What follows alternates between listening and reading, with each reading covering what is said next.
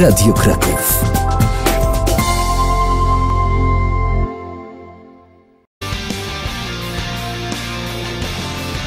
Radio Kraków.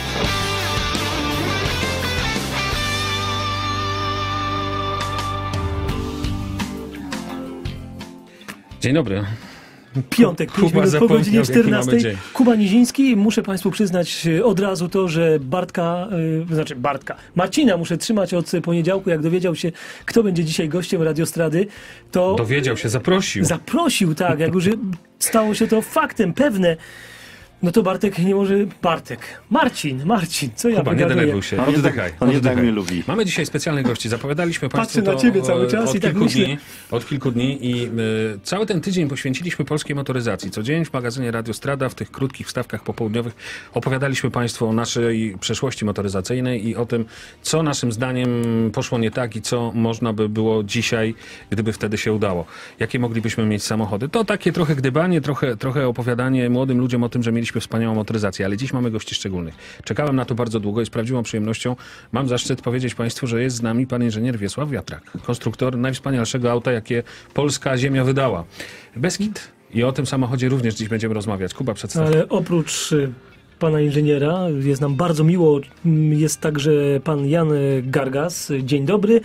Marek Golonka, dyrektor Muzeum Inżynierii Miejskiej. Dzień dobry. Jest także Fryderyk Zyska, Dzień dobry y, państwu. którego państwo znacie bardzo dobrze już z anteny Radia Kraków. Zdobywca dwukrotny Grand Prix y, Mazdy w projektowaniu samochodów. Dodam jedno, może panowie nie wiedzą, ale jeden z tych samochodów był inspirowany ciałem kobiety. Cokolwiek to znaczy. Dobrze, nie wnikajmy w to. Bartek, Prawda, że pięknie. Bartek też za nie mówił. E, Bartek za nie mówił, bo Bartek e, też projektował. Ale nie, nie karoserię. Tak jest. Ja jako inżynier Będziemy dzisiaj- zawsze zwracam uwagę pierwsze na technikę. Zresztą przed chwilą się tutaj taka roz... dyskusja nam rozwinęła. Poza anteną. Jak będzie fajna technika, to da się ją obłożyć Jeśli Michał możesz, to karoserią. proszę cię bardzo, po, pokaż teraz w kamerze. Mamy tutaj taką niespodziankę dla państwa. To jest miniaturka Beskida e, z taką okolicznościową tabliczką Beskidy razem, bo jutro o 14 w Muzeum Inżynierii Miejskiej na Wawrzyńca w Krakowie będzie można zobaczyć wszystkie ocalałe e, e, Beskidy. Nie powiemy ile ich jest, bo to jest zadanie dla państwa. Pierwsza osoba, która do nas zadzwoni i prawi, prawidłowo odpowie e, na pytanie, ile Beskidów e, będzie można jutro zobaczyć, ile tych Beskidów ocalało, e, otrzyma taką statuetkę. 12 20 03 333. A my wracamy już za chwilę. 12 20 03 333 zadaliśmy pytanie, ile pozostało tych samochodów prototypowych. Takich, takich. To do Państwa pytanie. Telefon rozdzwonił się natychmiast. Pan Krzysztof po drugiej stronie. Dzień dobry. Dzień dobry. Ile zostało Beskidów? Moim zdaniem tych Beskidów zostało sześć. I to jest dobra odpowiedź. A ile ich było w ogóle? Ile ich było w ogóle nie wiem, ale jeszcze Poza konkursem pytanie. dzieciństwa. E, Pamiętam z dzieciństwa, mieszkałem w Bielsku Białej, będąc dzieckiem. Pamiętam te samochody, jak jeździły jeszcze takie oklejone czarnymi taśmami, zamaskowane, takie jazdy testowe Fiat odbywa, zresztą do dzisiaj się to tam dzieje. Pamiętam właśnie te, te sylwetkę tego Beskida jeszcze z tamtych czasów. Bardzo panu dziękujemy. Było ich osiem, tak? Osiem. E, Osiem Beskidów e, prototypów powstało. Proszę się nie rozłączać. Kolega z panem ustalali, jak od, odebrać nagrodę. Bardzo panu dziękujemy za ten telefon. No ale to teraz porozmawiajmy wreszcie o Beskidzie i dajmy głos tym, którzy go stworzyli. To był 81 rok, kiedy zapadła decyzja, tak? O produkcji następcy Małego Fiata. Tak jak pan, panie redaktorze, mówi, w 1981 roku Rada Naukowa Ośrodka Badawczo-Rozwojowego Bosmal w Bielsku Białej pod przewodnictwem profesora Wajanda i wiceprzewodniczącym Korżyńskim Czesławem, który jest nieżyjącym, podjęli decyzję z tym gremium, które tam było przywołane w Bielsku Białej, o tym, że będzie jednobryłowy, że będzie aerodynamiczny, że będzie pełnowymiarowy dla polskiej populacji oraz, że będzie dostosowany do technologicznych możliwości fabryki samochodów małolitrażowych. Ta aerodynamika, ta aerodynamika wtedy to nie była taka codzienność, bo jeszcze wtedy tak bardzo na to nie zwracano uwagi. to aerodynamika nie była codziennością, ale dla tych, którzy ze mną współpracowali, byli, była to rzecz, która była po prostu czymś naturalnym, wynikającym ze studyjnego popatrzenia na opory powietrza na przykład dla tegoż samochodu. I to, co było kiedyś przedmiotem w Komuś tu telefon dzwoni, 1920 latach, przedmiotem badań naukowych niemieckiego świata, było przy- mnie nie obce, dlatego że ja byłem od młodszy, młodych lat y, pracownikiem Politechniki Krakowskiej w Krakowie. Po prostu pracowałem jako młodszy asystent Z- i żywo się interesowałem. I takim dokumentem, że to zainteresowanie wtedy już dawało jakieś efekty, było zbudowanie oprofilowania motocykla Tiger 100 Triumph i Parelli 250, oprofilowanie, którego zdjęcie zna, zna rakowickiego lotniska można byłoby zaprezentować Państwu. Jasne. I- Ale chciałbym zapytać, jak, jak to się stało? Ta, jak to było? Bo to była na tyle przełomowa konstrukcja, na tyle nowoczesna, że e, tak naprawdę nikomu jeszcze takie kształty i te rozwiązania, które zastosował pan w Beskidzie, jeszcze się nie śniły. Ja powiem jeszcze raz, że te kształty aerodynamiczne, jakie są w Beskidzie, były wzorowane w szczególności na tych wynikach badań naukowych. Czyli one nie, nawet nie były wzorowane, tylko były efektem tych badań. Efektem tych badań, tak jest, panie doktorze.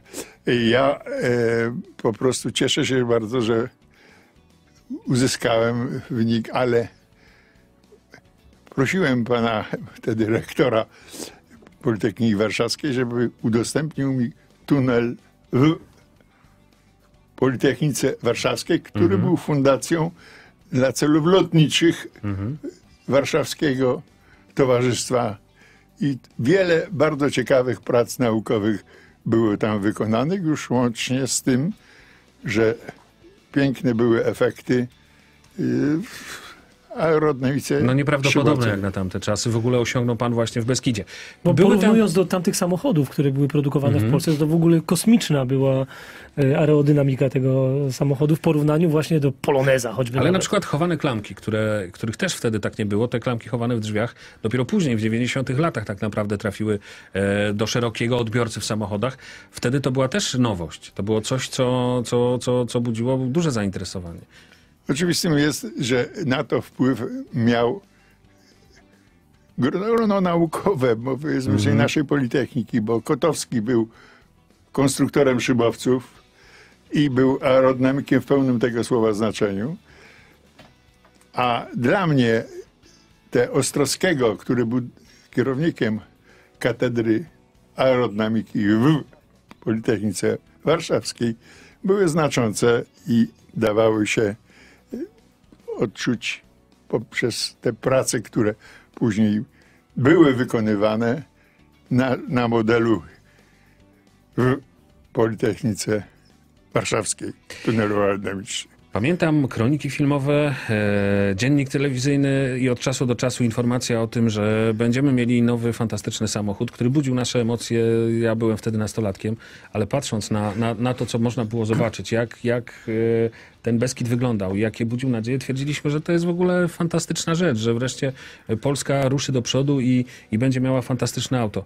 Czy czuliście się jakoś szczególnie wyróżnieni rzeczywiście, że, e, że tworzycie coś wyjątkowego? Miał pan takie poczucie? Bo widzę, pan tak bardzo skromnie o tym dzisiaj opowiada. A to był wynik badań, a to y, grupą pracowaliśmy, ale e, wy dokonaliście ogromnego przełomu. No, to, to było coś niesamowitego. Ja cieszę się bardzo, że te słowa słyszę, ale z drugiej strony chcę powiedzieć, że one nie są oparte o, o słowa, bo to było 0,262 CX uzyskane w Instytucie Lotnictwa w, w Warszawie. W tym czasie chciałem powiedzieć najlepszy aerodynamiczny Porsche miał 0,29 i to do tej pory chwalebnie jest pielęgnowane przez tą firmę, która w sposób znakomity dalej egzystuje na tym rynku.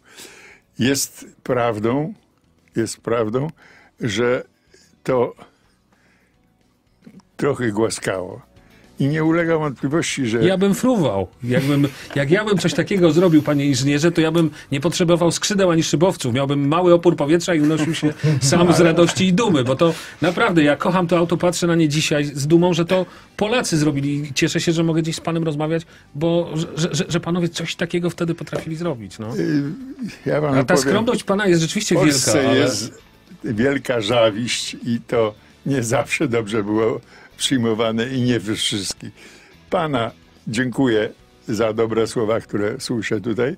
Mogę ocenić jako człowieka, który pozbawiony jest tej zawiści, jaką jest decydująca w wielu przypadkach y, jakimś twórczym działaniu. Pionierzy nie mają łatwo, to jest jasne, bo zawsze pokazuje się innym, że to, co robili dotychczas, może nie było tak doskonałe, bo potrafi zrobić coś lepszego, więc to, to, to pewnie tak jest. Natomiast e, jak to dalej się toczyło, tak? Mamy ten 83 rok, wiemy już, że, że, że są opracowania gotowe, no i zaczyna się budowa prototypu. E, skąd wziąć te części do pierwszego prototypu, bo skąd się trzeba wziąć przecież? Z czegoś to auto trzeba ulepić. Prototyp był prototypem, proszę mi wierzyć. Jedyną rzeczą, która krosno robiło mi kolumny McPherson, które były typowym rozwiązaniem i zrobili to dobrze. Ym, ureserowanie tylnych na wahaczach było wspomagane wiedzą naszego Adama Kleczkowskiego, profesora Politechniki Krakowskiej. Rzeczywiście udany sposób. A sztywność nadwozia, najważniejszą rzecz, którą osiągnąłem, bo jeszcze poza tą aerodynamiką to wchodzi i sztywność. Ta sztywność Stabilność była- samochodu, nie, tak? sz- Sztywność w ogóle y, Konstrukcji. statyczna, nawet y, tak y, rozpatrując.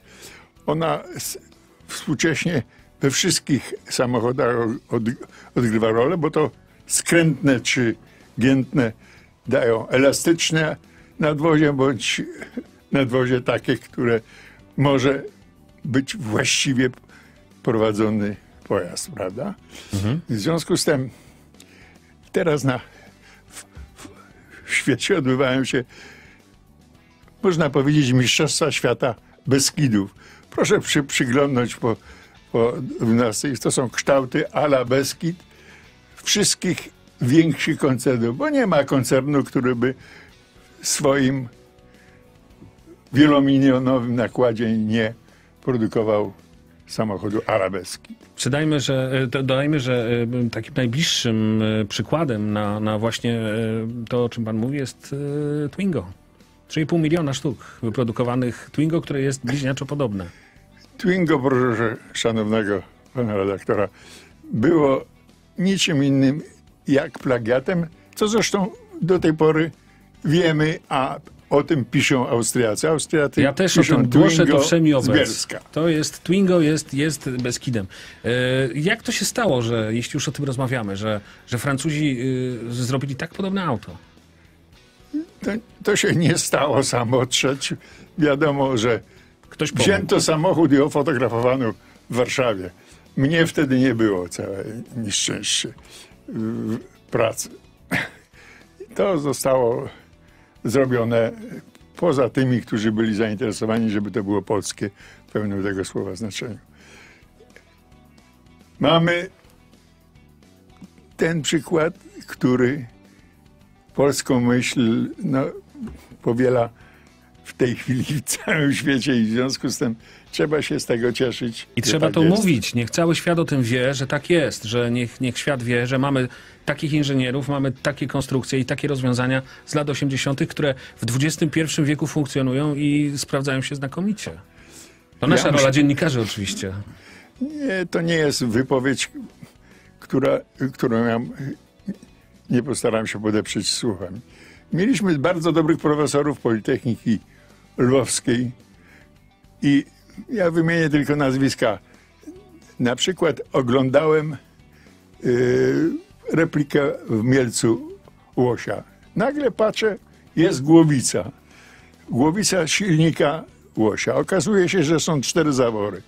I mówi się mówiło się o technice wtedy czterozaworowej, a to tenże Małecki, który był profesorem techniki, już robił przed wojną jako konstruktor PZL-u po prostu. Nic innego, jak mieli, i to nauczał później tych, którzy byli studentami Politechniki, na przykład krakowskiej.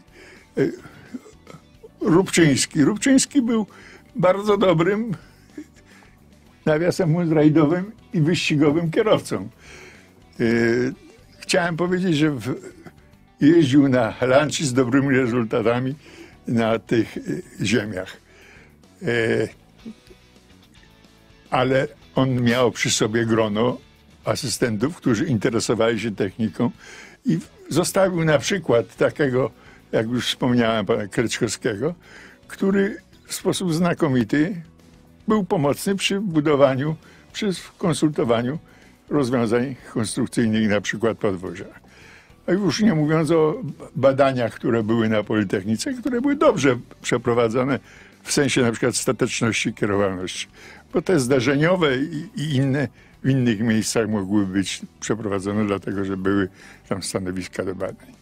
Słuchają Państwo specjalnego wydania magazynu Radio Strada. My do naszych rozmów wrócimy już za chwilę. Dajmy trochę odpocząć panu inżynierowi i wracamy ja, za ja moment. tylko przetłumaczę troszkę tak prościej odnośnie tej sztywności, bo Mhm. tak, żeby radiosłuchacze zrozumieli, na czym się sprawa zasadza generalnie karoserii, jaka potrafi być różnica, jak chodzi o sztywność. Proszę sobie wyobrazić, że samochody rajdowe są generalnie, są to karoserie samochodów zwykłych, mówię o takich klasach, które są bazowane na autach e, seryjnych, ale te karoserie są specjalnie jeszcze pospawane. I proszę sobie wyobrazić, że różnica jazdy autem rajdowym pospawanym, a nie pospawanym dochodzi do sekundy na kilometrze. Jak ważna jest sztywność. sztywność karoserii w y, przy prowadzeniu samochodu. Jeżeli mamy auto specjalnie pospawane, możemy pojechać w rajdowej jeździe sekundę szybciej na kilometrze. Ja jako kierowca rajdowy to wyczuwam, kiedy auto jest sztywne, a kiedy nie sztywne. Ono się zupełnie inaczej prowadzi. Motomałpa radiokrakow.pl to nasz adres. Można do nas Chciałem pisać. dopowiedzieć do tej Jasne, oczywiście. kwestii, którą poruszył szanowny pan. Mianowicie w Beskidzie, proszę zwrócić uwagę, że kielichy sprężyn są umieszczone przy samej belce przedniej i połączone belką wzdłużną, która stanowi o sztywności skrętnej tegoż nadwozia. W sportowych, rajdy- autach, w sportowych autach takie rzeczy się uzyskuje właśnie dając specjalną taką rozpórkę, która przenosi A tam już obciążenie, jest automatycznie. obciążenie z jednego kielicha Państwo na to drugi słyszą? kielich. Państwo to słyszą, to właśnie taki był samochód i tak wtedy budowało się Beskida. To jest nieprawdopodobne dziś, jak się tego słucha, że tak udało się panu wyprzedzić epokę. Radio Kraków.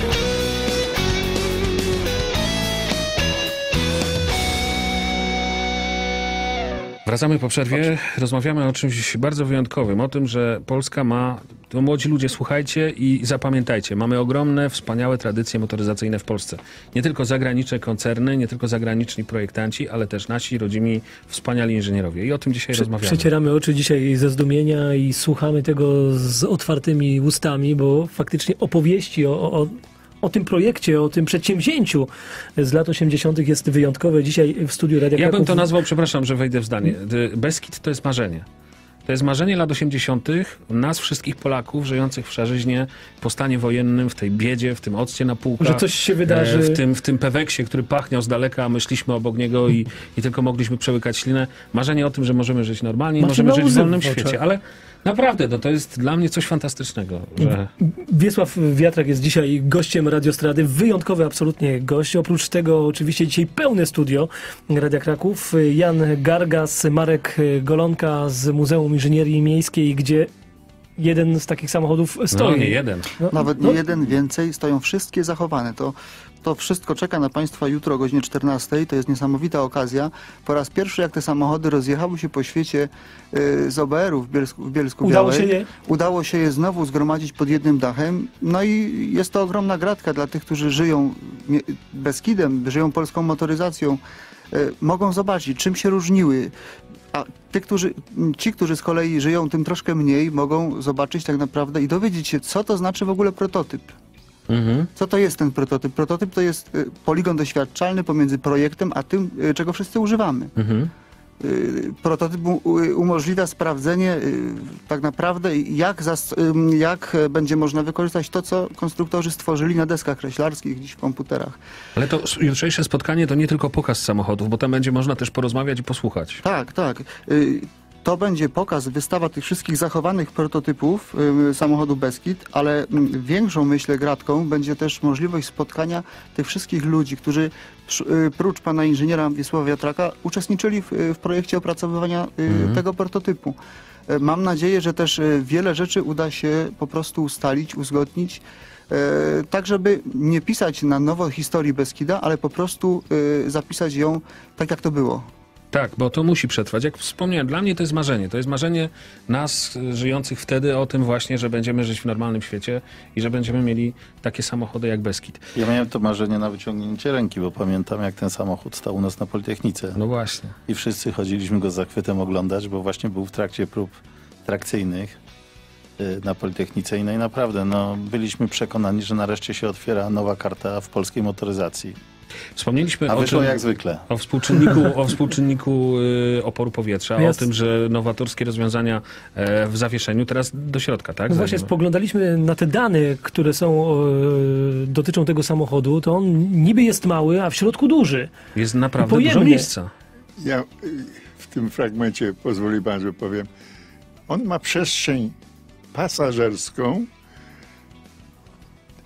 prawie taką jak Polones, bo jest węższy o 3 cm, a jego długość jest znana, bo to jest poniżej 3,2 metra, prawda?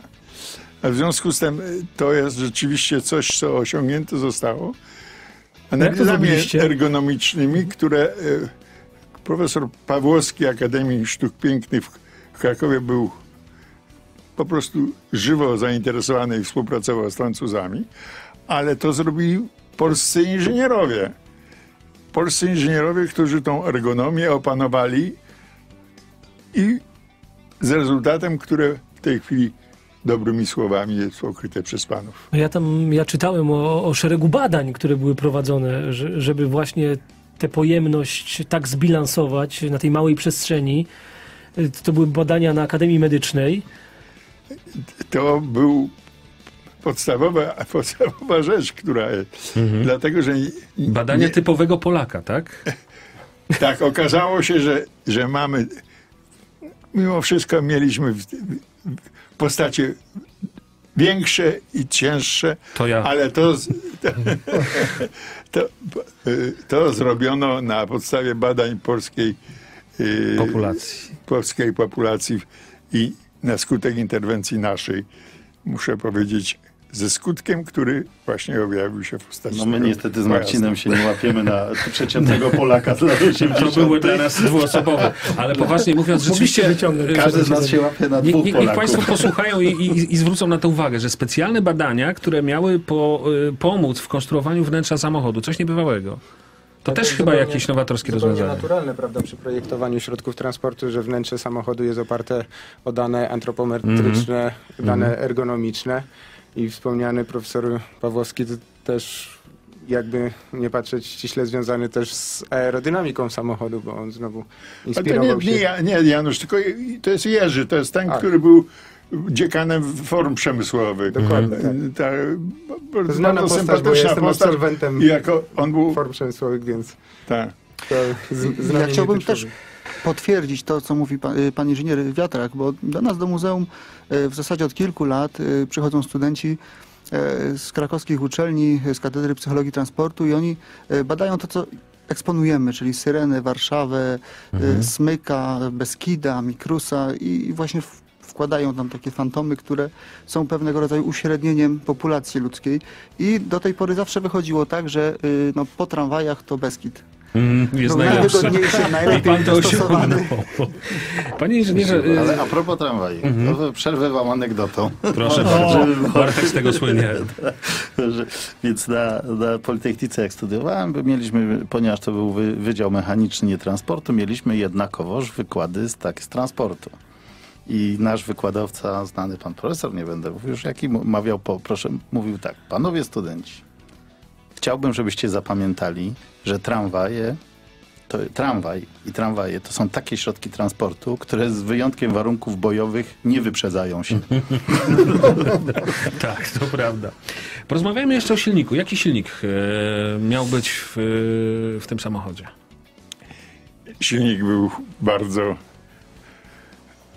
prosty. Chłodzony cieczą na bazie 126. I blok zrobiony po prostu na dwucylindrowy z głowicą też chłodzoną cieczą. I miał, jak zdjąłem tą dmuchawę, tam były 3,5 konia na samej dmuchawie. To już, już mam więcej oczy i w stosunku do malucha, prawda? A mogłem bardziej obciążyć, więc on miał około 28 koni i to był podstawowy model, który miał wejść w życie. Później to trochę inaczej się odbywało, bo ja na przykład miałem, ale to nie dlatego, że takie możliwości, bo myśmy również badali y, Jugo, po prostu f- Fiata 127 silnik W se- w- w serbskim zamontowany do, mhm. y, z czterobiegową skrzynią, którą on tam miał, bo później myśmy dorobili do, do tego silnika pięciobiegową skrzynię i to jest to coś, co było do, dokończeniem tego projektu w sensie takim, że staraliśmy się zmniejszyć zużycie paliwa i faktycznym, że bardzo długo nie mogli konkurować z Beskidem, bo on wygrywa wszystkie oszczędnościowe rajdy. I to przez dłuższy odcinek czasu organizowany, bo to był taki okres y, ra- rajdy zużycia, był po prostu bezkonkurencyjny tak współczynnikiem oporu powietrza, jak i na skutek tego, że była pięciobiegowa skrzynia, gdzie można było ten piąty bieg włożyć i w właściwym, właściwym momencie wykorzystać możliwości trakcyjnej pojazdu. Pan startował nim w rajdach też, tak? Bo to był samochód, którym, którym Tak, pan... ja startowałem. Nawet w, po prostu w 33. Beskidzkim Radzie Zabytkowych Pojazdów. Za zgodą, jak to się mówi, tej komisji, która tam działała, bo już wtedy miał 25 lat, mogłem sobie pozwolić na, na to, ażeby traktować to jako zabytkowy pojazd. No i nie rewelacyjnie nie, nie zdobyłem y, jakiegoś dobrego miejsca. Jedynie rzeczą, która mnie satysfakcjonuje, że poza ukończeniem tego rajdu, było to, że na przykład w Czechowicach wygrałem z Porszami, ale na skutek tego, że źle były po prostu punkty slalomu zrobione blisko siebie. I oni nie dali i, rady. dał mi, mam do tej pory puchar Czechowic dziedzic za pokonanie innych pojazdów. tak. Ale mi się wydaje, że to w sumie takie współzawodnictwo odrobinę nie fair, prawda? No bo jeżeli się słucha tego, co, co profesor opowiada o technologii, jaka była wykorzystywana, o sposobie myślenia i podejścia do procesu projektowego, to ten zabytkowy samochód, on tak naprawdę jest bardziej współczesny dzisiejszym kryterium, prawda? Mhm. Ale tak rzeczywiście patrząc, e, to auto e, po latach ciągle budzi emocje. To, lato, to auto po latach ciągle budzi zainteresowanie. Jest, jest czymś wyjątkowym. Jak to było dalej? No bo doszliśmy do tego momentu, że pojawiły się prototypy, prace trwały i czego zabrakło? Co się stało? Pozwoli pan, że odpowiem na inny temat. Temat, y, dlaczego Pan może odpowiadać na wszystkie. Dla- Dlaczego, dlaczego pytania. y, no, takie dobre wyniki były na y, tym samochodziku? Dla, dlatego, że no, tego ducha to ci konstruktorzy wepchnęli w postaci aerodynamiki, w postaci tego ureserowania, które na przykład mówię o tym wahaczu tylnym, który, który Mercedes zrobił w postaci rury i wywracały się Mercedesy a la Beskid, prawda? Ale teraz nie ma. Nie. Bo już te rzeczy zostały dawno opanowane. I teraz są te samochody po prostu popularne, ale chciałem powiedzieć, że ludzie, którzy znali się na tych technice, właściwie oceniali taki Horst Hahn, doktor Horst, dyrektor techniczny Volkswagena, odwiedzając fabrykę, przyjechał do Oberu i ja miałem przyjemność prezentowania mu Beskidę, bo już wtedy go miałem. Więc on przechodził i tak mi ostatnio na spotkaniu opowiadali, że przechodził przez, machał ręką i tam się zatrzymał. No, teraz możemy współpracować. I nazwał coś, co ja powtarzam. Jest to samochód, który wyprzedził epokę. Ja to nawet to zdanie jego, Horsta Hana, użyłem dla dziennikarzy. Oni powtórzyli i jest to odnotowane w naszych annałach. Ale to prawda, to, widać do dziś. Wystarczy na niego spojrzeć. Jest, jest czymś wyjątkowym ten samochód. Początek lat 90. to był koniec tego projektu, tak? Wtedy zapadła decyzja o zaprzestaniu. I jedna decyzja, która przyznaje, y, przyspiesza mi tętno. I gdybym się dowiedział, kto tą decyzję wydał, to, to lo, może lepiej, żebym nie wiedział. O zniszczeniu prototypów. Ja, ja słyszę takie rzeczy, to y, przyznaję, że y, zaczynam mieć myśli rewolucyjne. Y, bo, bo dlaczego? No? I dlaczego ktoś ciągle robi takie rzeczy? Jeśli pro, projekt jest fenomenalny, fantastyczny, jest efektem pracy polskich inżynierów, y, uosobieniem polskich marzeń i ma ogromną szansę, ogromny potencjał komercyjny, nagle ktoś mówi, Dziś tak się mówi komercyjny, tak? Wtedy było, my jeździliśmy polskimi autami w Polsce. E, Wtedy było wóz albo przewóz, albo wybierzemy nasz polski samochód fantastyczny, albo sprowadzimy cały ten szrot, przepraszam, cały ten złom z Niemiec, z Austrii, który wyjechał na początku lat 90. i zaśmiecał nasze parkingi jeszcze całymi latami.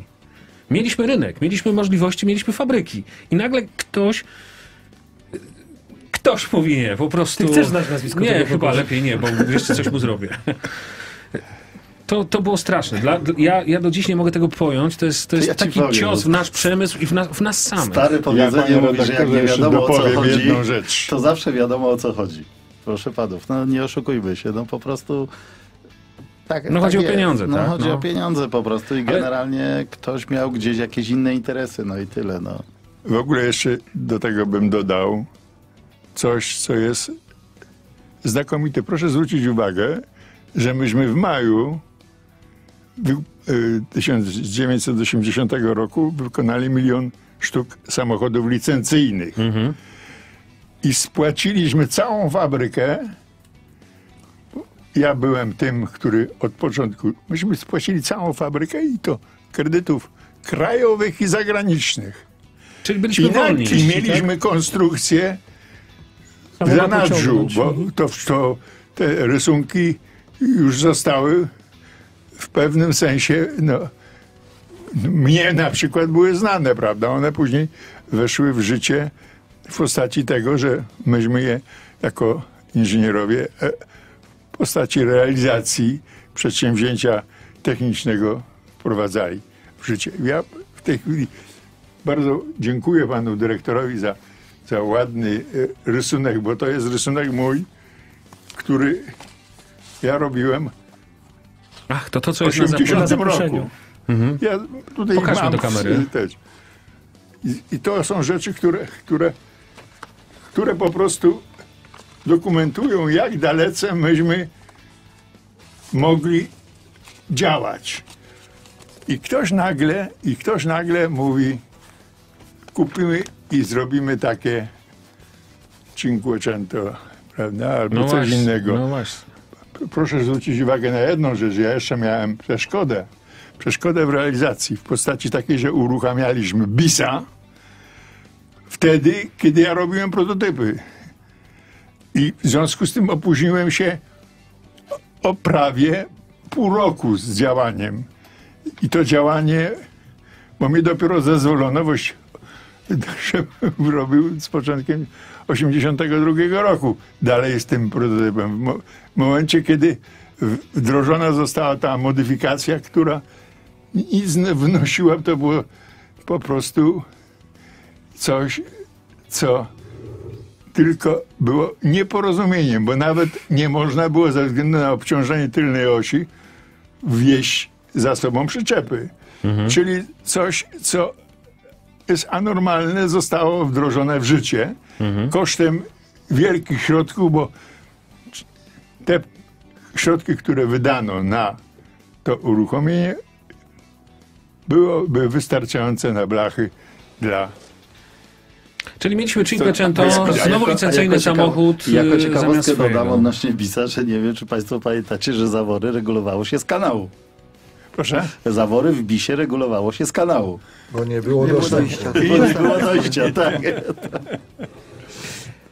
I tak to było. I potem nagle w momencie, kiedy skończył się, kiedy skończyła się e, ten, ten patent tak, na, mm, na Beskida, pojawił się Twingo. Bardzo szybko to się stało i ten Twingo... Nie skończył się, to nieprawda, Tak? co pan, panie redaktorze mówi.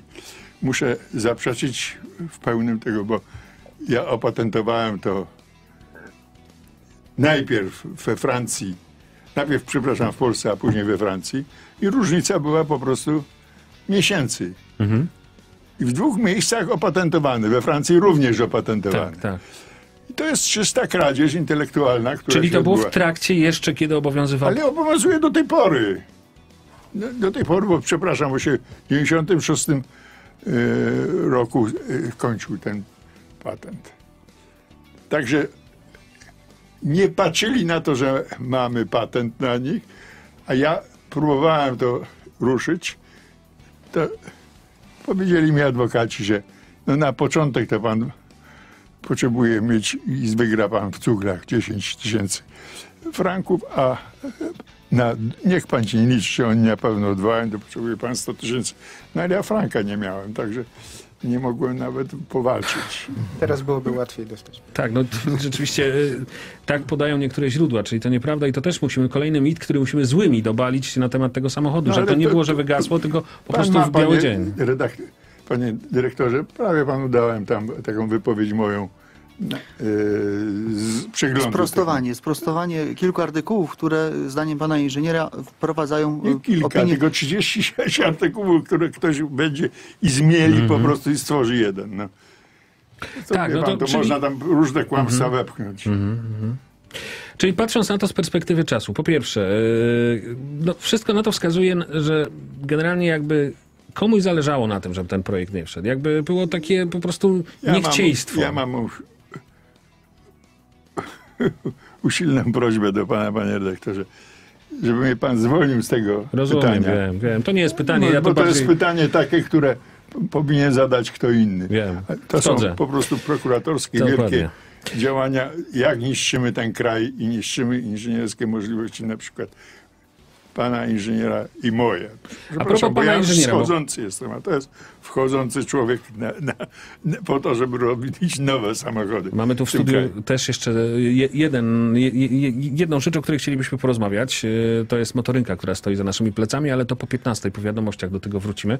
To jest motorynka, Jaka motorynka? Motorynka bardzo specjalna. To, co Państwo widzą, to, e, to są butle na sprężane powietrze, ale nie będziemy na razie więcej mówić, o tym po, porozmawiamy po 15.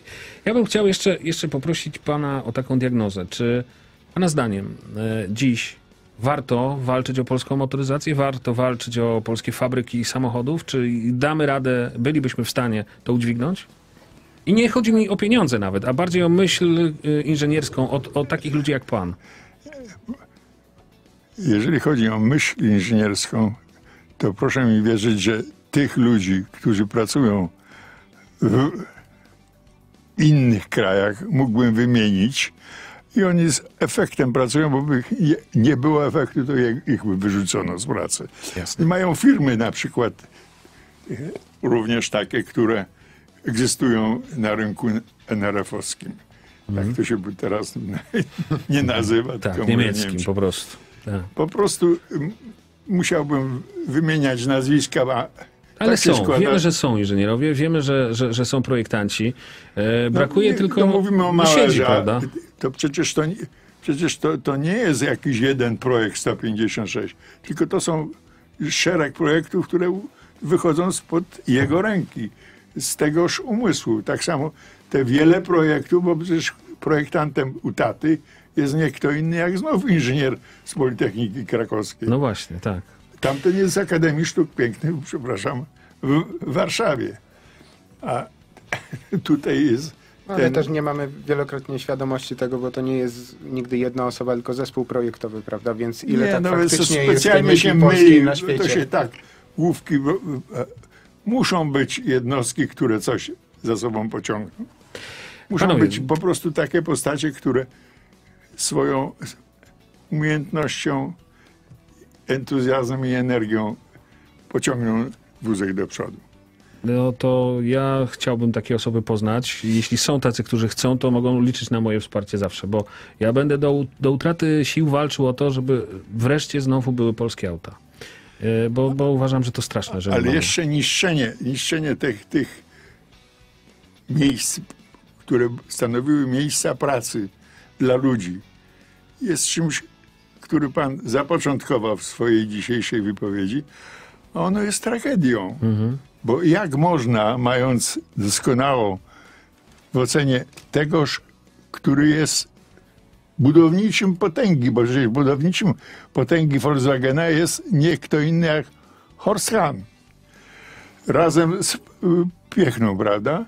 Bo to byli zresztą koledzy później. Oboje się chcieli kupić tego Volkswagena, ale oni dali opinię taką, która kwalifikowała do dalszego działania. A to wszystko się niszczy i wszystko od, odwraca parzynę.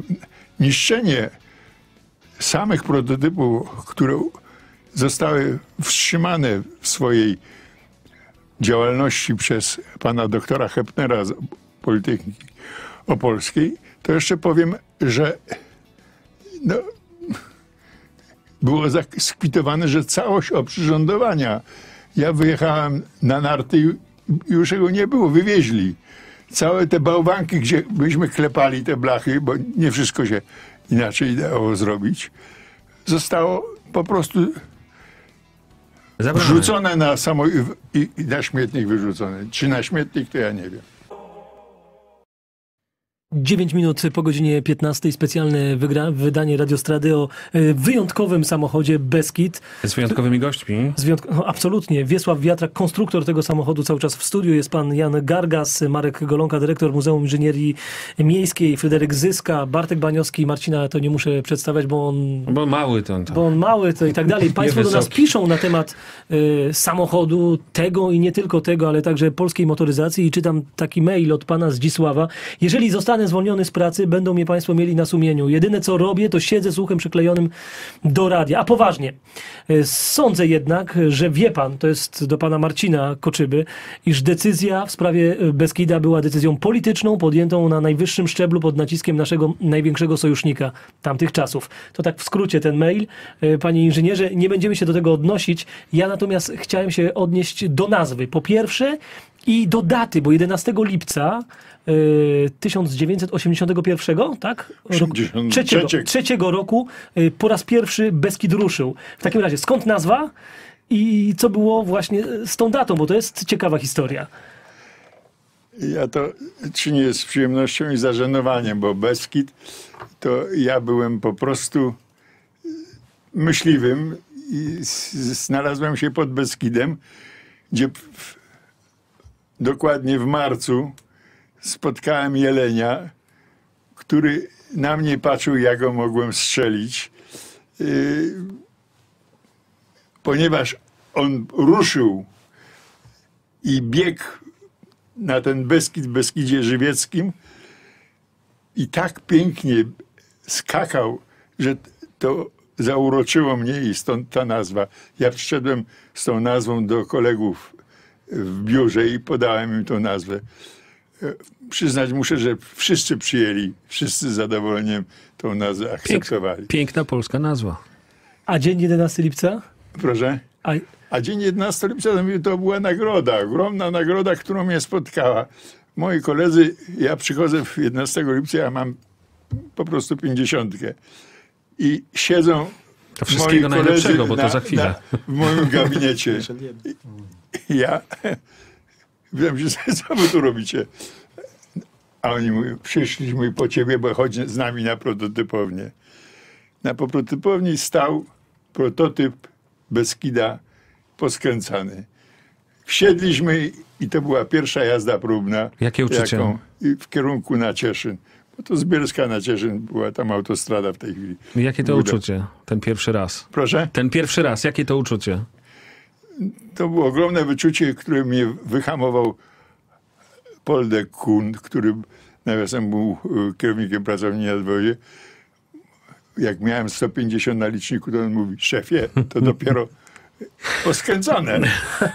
I, w związku tam, bo tam jest prawie taki spadek i, i to nie było w- Trudne. jak mnie trudne do uzyskania. Także miałem troszeczkę dreszcze, bo Mhm. Łzy w zdawałem sobie oczach, sprawę, szybsze że tętno.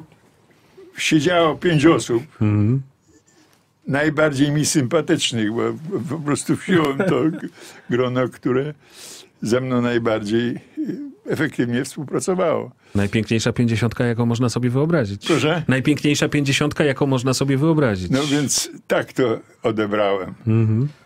No i I teraz- tak to w dalszym ciągu trzymam. Panie inżynierze, bo y, to, że y, Beskid to jest jedno, ale cały czas stoi tutaj razem z nami ta motorynka, a to pan też ma z nią związek, bo y, zaczęło się od kosiarki, Motorynka tak? jest, pierwsza jest, że silnik jest mojej konstrukcji, bo jest 38. No Silnik właśnie. to była pierwsza taka kompletna praca silnika. Wszyscy są- motorynkowcy, słuchajcie, to pan inżynier Wiesław Wiatrak dał wam silniki do motorynek. A on jest przerobiony, bo Kickstarter jest... Na wiatr. Na wiatr z Beskidów. A jest przerobiony właśnie na wiatr. Bo to jest silnik pneumatyczny, ale przerobienie dokonał według... Ja mam patent na to i już przestałem płacić od y, 2013 roku w, Brukseli, bo oni troszeczkę za dużo chcą, a ja jestem emeryt. I w związku z tym musiałem się wycofać. I to, a realizatorem tegoż na wiatr wędzonego tej motorynki jest inżynier Jan Gargas, mój kolega. Który jest z nami w studiu. Proszę pana, to wygląda na to, że to jest zamach na pola naftowe i proszę pana w ogóle zamach na przemysł.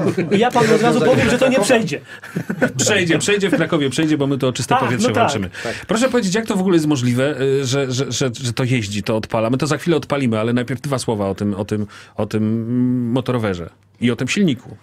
Y, Pan inżynier Wiatrak, obecny tutaj z nami, dał pomysł, żeby napędzać silniki tradycyjne, dotychczas produkowane silniki spalinowe y, energią sprężonego powietrza z butli czerpaną. Y, W pierwszej chwili nie byłem y, o tym absolutnie przekonany. Że to jest możliwe, bo ja na przykład jak bym usłyszał, to bym nie uwierzył. Ja nie, Nie, ja- Marcin usłyszał i nie wierzył, że w ogóle to, no, to Przed chwilą działa. odpaliliśmy, tak, przyznam. I ja powiem może kilka słów, jak to się zaczęło. Otóż y, pracowaliśmy nad innym projektem pojazdu elektrycznego dla Pruszkowa i w tym czasie pan inżynier Wiatrak y, zwrócił się do mnie z taką propozycją, nie do odrzucenia, żebym kosiarkę przerobił mu na sprężone powietrze. No, w pierwszej chwili nie, potrafię, nie potraktowałem tego Ja bym pomyślał o poważnie. żaglu. Y, ale y, tak skutecznie mi przypominał o tym, tak często, że wreszcie mówię tak, no muszę temu dać jakiś zdecydowany wyraz. Albo Żeby mieć się święty uda, spokój. Tak. Albo to się zrobię, uda, albo emigracja, tak? I w pewnym momencie, jak zacząłem nad tym pracować, yy, nagle okazało się, że to ma sens, że to działa. Oczywiście wymagało to yy, wielu przeróbek tej kosiarki i było to rozwiązanie bardzo prymitywne, jak, jak oceniam to z perspektywy czasu w tej chwili. Yy, Niemniej jednak yy, ta idea napędzania silnika spalinowego energią sprężonego powietrza okazała się prawdziwa i słuszna. Y, to y, motorynka, którą tutaj widzimy, y, jest y, obecna na moim warsztacie, że tak powiem, od zeszłego roku i od zeszłego roku nad nią pracujemy. Z tym, że zastosowaliśmy tu inne rozwiązanie, jak w tej niesławnej kosiarce, która u pana inżyniera Wiatraka jeszcze jest do dnia dzisiejszego. Y, I okazało się, że ta koncepcja, nad którą y, pracowałem, były dwie generalnie rzecz biorąc. Pan inżynier Wiatrak miał koncepcję dozownika sprężonego powietrza elektroniczną. Y, Ja troszkę się różniłem w tym, bo twierdziłem, że prostsza do wykonania i nie wymagająca tak skomplikowanego sprzętu elektronicznego byłaby, y, byłby dozownik y, mechaniczny. Y, Każdy z nas poszedł swoją drogą. Pan inżynier Wiesław pracował nad dozownikiem elektronicznym, ja nad mechanicznym. udało mi się to wcześniej uruchomić. Zrobiłem panu Wiesławowi, mam nadzieję, niespodziankę, miłą oby. Y, I pewnego dnia mu zakomunikowałem, że motorynka pracuje. Przyjechał do mnie, odpaliliśmy. To jeszcze było tak, że y, zbiorniki nie były na tej motorynce zamontowane, tylko był jeden zbiornik y, wolno stojący o ciśnieniu 200 barów y, powietrza. Y, Uruchomiłem i chodzi motorynka. Później y, nastąpiła taka koncepcja, y, że dobrze by było, gdyby to był pojazd taki, który można by włożyć do bagażnika samochodu i przejechać się nim. To wielu ludzi nie Dojechać do centrum miasta nie kopcąc, zostawić Otóż to. auto na obrzeżach i jedziemy zasilani powietrzem. Czystym Wielu powietrzem. niedowiarków może to przekonać. No i warunek był jeszcze jeden. Pojazd produkcji polskiej, Właśnie. pojazd Bardzo taki, ważny który argument. by się zmieścił w bagażniku. No więc udało nam się to osiągnąć. E, Zakupiliśmy takie dwie butle. One są niedoskonałe, bo już w świecie robi się lepsze butle. Panie One są- inżynierze, to jest prototyp. Zgadza się. No więc też przez perspektywę tego, że to jest prototyp i mamy możliwość nad tym jeszcze pracować, nad udoskonaleniem, yy, zakupiliśmy to, co było na rynku osiągalne, napompowaliśmy to i jak widać, Jest. My to za chwilę odpalimy. działa. Teraz chwila przerwy, a my w tym czasie przygotujemy się do tego, żeby tą maszynę odpalić i Państwo sami zobaczą i usłyszą. A ja przyłożę nos do rury wydechowej i zobaczą Państwo, że to przeżyje. za chwilę nasz eksperyment. Radio Kraków.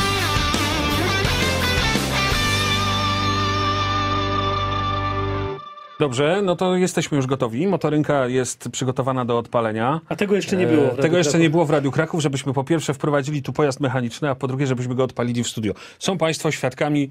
Są Państwo świadkami wydarzenia nadzwyczajnego. Motorynka jest tutaj za naszymi plecami. Pan inżynier ją odpali, a ja jak Motorynka na obiecałem, idę, idę po oddychać powietrzem. Proszę zobaczyć. Twarz nieokopcona. Zobaczymy, co będzie po. powietrzem z rury wydechowej. Powietrzem z rury wydechowej oczywiście.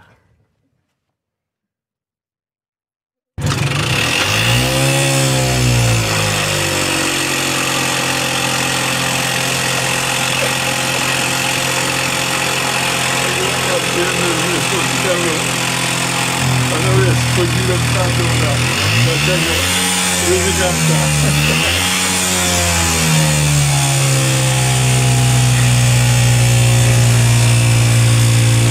Marcin, już przestań. Już przestań, możemy wyłączyć. Jeszcze mamy kilka minut, żeby zamienić kilka zdań na temat e, tego sprzętu. To jest niesamowite, ale ja czułem las sosnowy. A i dźwięk bardziej przyjemny od tego tradycyjnego, prawda? Zdecydowanie. Nie wiem, gdzie to było e, pompowane, ale rzeczywiście e, świeże powietrze. E, to, czego panowie dokonali... To jest bieskie powietrze. Bielskie powietrze, ja poznałem właśnie, że to jest bielskie powietrze, Tak południowa część miasta. było. Południowa część miasta rozpoznaje ten stok, tam las sosnowy. Ja to widzę, oczyma wyobraźni. Panowie, dokonaliście rzeczy fantastycznych. Fantazyjnie pan E, mówi. No, tak nam nie działa ta motoryzacja, którą panowie zrobili. To, że powstał taki samochód, który był moim marzeniem przez całe moje młodzieńcze życie. Wierzyłem, że kiedyś do niego wsiądę i się przejadę. Dzięki uprzejmości pana dyrektora, e, będąc w Muzeum Inżynierii Miejskiej, miałem taką okazję. To było fantastyczne. Nie wyjechałem tym autem na ulicę. Wie pan dlaczego? Bo poczułem, że siedzę w dobrze narodowym. Gdybym coś mu zrobił, to bym sobie tego nie darował. Więc zrobiłem kółeczko po dziedzińcu. Marcin, Marcin szaleje. I, I po prostu to było pełnia szczęścia i, i to mi wystarczyło. Sprawia mi pan naprawdę. To pan mi sprawił, nawet tworząc zdaje taki samochód, a pan mi przyjemność, bo pokazał pan, tym- tym- jak pan mówi o dobrze narodowym. No bo to jest tak dobro zostało narodowe. wdeptane w pan. To jest, to jest coś tragicznego, co nas spotyka Polaków, bo to nie, to, to nie jeden pomysł, wie pan. Ja mnóstwo bym się Można rozgadał. było powiedzieć. Ale drodzy panowie, no to skoro siedzimy, mamy pomysły, Polacy mają pomysły, no to może wracamy do tego pomysłu Beskida. Ja jestem za. Jeśli, jeśli panowie tylko Bartek wyrażają na to zgodę. Nie, ale jeśli pan inżynier, konstruktor, pan inżynier Wiesław Wiatrak wy, wyraża zgodę na to, żebyśmy spróbowali e, zainteresować Ja- Polaków pomysłem reaktywacji. ukłon Krakowiaka, bo z Krakowa jestem, po prostu składał tym, którzy taką inicjatywę rozwiną. My się do tego przyłożymy, obiecuję, że przyłożymy do tego rękę, żeby zrobić wszystko, co będzie możliwe, żeby wskrzesić ten projekt i żeby Beskid w tej czy w innej formie, czy jako samochód elektryczny, spalinowy, czy jakikolwiek inny, jeszcze wrócił na nasze drogi. Ale Wracamy do Syreny, do innych samochodów, to- kolego, redaktorze, przecież to może być pneumatyczny silnik. No właśnie. I tu pan zrobił krok w tym kierunku, czyli mamy, mamy dwa fantastyczne, dwie fantastyczne wiadomości dzisiejszego programu. Po pierwsze, Beskid jest, był i będzie nadal ciekawą propozycją, bo jego kształt, jego możliwości są do dziś niedoceniane i myślę, że jeszcze nie jedno w produkcji wyjdzie, co zaskoczy wielu. Właśnie ta aerodynamika, to jego trzymanie się w zakrętach, dzięki temu, że jest sztywny. To jest auto, które może jeszcze zadziwić świat. Ciągle jeszcze, choć lata płyną. I napędzane powietrzem, A pan z kolei pokazał, że wcale szejkowie nie są, po nas jadą. że szejkowie właśnie wcale nie są nam do szczęścia potrzebni i że to nie oni rządzą światem, tylko rządzi wiatr powietrze. i pan wiatrak. Proszę Państwa, chciałem w tym momencie podkreślić taką rzecz, że motorynka, którą tu widzimy, to jest tylko skromny przedstawiciel środków transportu. To jest symbol silnika spalinowego napędzanego sprężonym powietrzem, który y, we wszystkich środkach transportu, w samochodach, w przemyśle okrętowym, y, w górnictwie y, stosuje silniki spalinowe. Y, Zwłaszcza y, jeżeli na przykład w górnictwie y, w strefie metanowej jest potrzebny taki silnik, czy te, te, tego rodzaju napęd, może być tam stosowany. Najlepszym W strefie przykładem metanowej Tego, pan mówi, tak? Dlaczego? Tak. Bo szczególnie, no bo tam jest strefa zagrożona wybuchem. wybuchem, bo jest iskra. Oczywiście. Tu nie ma, rozumiem. Tutaj nie mamy No właśnie. iskry, bo nie mamy Paliwa, nie benzyny. Nie jest to silnik y, zasilany tradycyjnym paliwem, ani benzyną, ani gaz. Na dzień dzisiejszy umiemy przystosować każdy rodzaj silnika spalinowego, czy to będzie benzyniak, czy to będzie diesel, czy dwu, czy czterosów, do pracy na energii sprężonego powietrza. Y, Dość powiedzieć, my wzorujemy się na najlepszych. No, y, pierwszym, pierwszym wykonawcą y, takiego prototypowego pojazdu z napędem pneumatycznym y, to jest y, amerykańska firma Cadillac, która wyprodukowała pojazd. Jest, jego zdjęcia są publikowane w prasie i jego mm, bardzo lakoniczne dane, niewiele tam tych danych jest, ale jego zasięg jest niewiarygodnie wielki, bo 1600 kilometrów z jednego zatankowania butli. Y, Butli z powietrzem. butli z powietrzem. Nie wiadomo ile tych butli jest i jakiej objętości. E, Konstrukcja jest lekka, kompozytowa, bo ten pojazd e, dwuosobowy o bardzo pięknej sylwetce, sportowy, waży niespełna 600 kg. To jest niewiele, y, no więc musi być on odpowiednio naprawdę lekki. Y, Natomiast zasięg jest imponująco wielki. Ale y, nie są oni jedynym y, prekursorem pojazdów z napędem pneumatycznym, bo na przykład firma y, wspominana już tu przez an- pana inżyniera Wiatraka, hinduska Tata, produkuje pojazdy, takie samochodziki w różnych wersjach, wersja osobowa, towarowa, nawet mik- mikrobusy o napędzie pneumatycznym. Y, One mają zasięg do 300 km, jak podaje producent, i prędkość maksymalna jest 110 km na Proszę godzinę. bardzo. I to wystarczy. Y, Więc uważam, że parametry dobre, aczkolwiek nieporównywalnie y, gorsze od tego pojazdu amerykańskiego. Y, Również y, pracę prowadzą Francuzi w tej chwili, firma Peugeot, nad pojazdem zasilanym energią sprężonego O powietrza. Francuzach to nie rozmawiajmy, bo narozrabiali i, i koniec. To mają, prawda. mają minus u nas. Panowie, z bólem serca y, muszę powiedzieć, że nasz program dobiega końca. Ta część przynajmniej. Ja zapraszam wszystkich Państwa jeszcze raz i pan dyrektor może też zaprasza, tak? Wszyscy zapraszamy. Jutro Muzeum Inżynierii Miejskiej. Będzie można Krakowie. zobaczyć. Przyjść, zobaczyć, czy będzie motorynka też do zobaczenia? Tak, Będzie. zapraszamy jutro na godzinę 14. Sami Państwo mogą nos do rury przyłożyć. To zupełnie Polecam. nietypowa rzecz na krakowskim Kazimierzu Beskidy i powietrze z nad Cieszyna. Fantastycznie. Zapraszamy Państwa na 14. My też tam będziemy, a naszymi gośćmi byli Dziękujemy bardzo. Wiesław Wiatrak, konstruktor Beskida. Dziękujemy bardzo. Jan Gargas, Marek Golonka, dyrektor Muzeum Inżynierii Miejskiej, Fryderyk Zyska. Dzięki Fryderyk za Dziękuję przyjście. za zaproszenie. A my się nie żegnamy jeszcze, Tak, bo, bo my się program jeszcze Radio Strada do chwilę na- godziny 16. za chwilę na naszej antenie.